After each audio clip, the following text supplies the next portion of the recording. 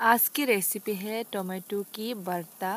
पहले हम टोमेटो को आग में जला के पकाना है। पूरी तरह मतलब सब तरह वो काला काला हो जाएगा लेकिन कोई प्रॉब्लम नहीं।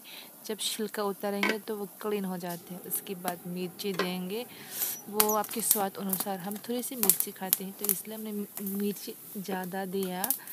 हम्म, मतलब टेस्ट के अनुसार देना चाहिए लेकिन हमें हमें तो पसंद है मिर्ची ज़्यादा।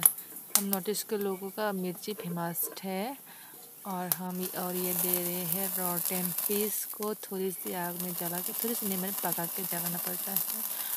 और फिर करेंगे, जो टोमेटो को जलाया था, उसका हम छिलका क्लीन करेंगे। मैंने कहा था ना, काले काले होने से भी कोई प्रॉब्लम नहीं।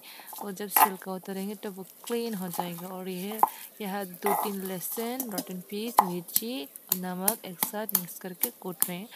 वैसे हम अभी क्लीन करेंगे, पूरी तरह से क्लीन अभी साफ़ करना होगा, साफ़ से, साफ़ करके नहीं दिया तो बर्टा का जो कलर है, वो अच्छा नहीं आएँगे, काला कलर होगा, इसलिए मैं अच्छे से क्लीन कर रही हूँ।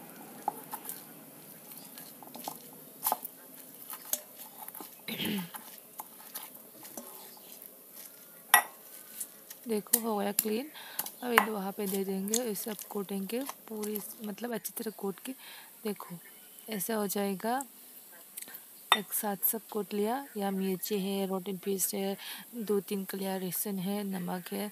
तो अच्छे ऐसे बन के बढ़ता टमाटो का। अब लोग अच्छे लगे तो लाइक कमेंट शेयर ज़रूर करना।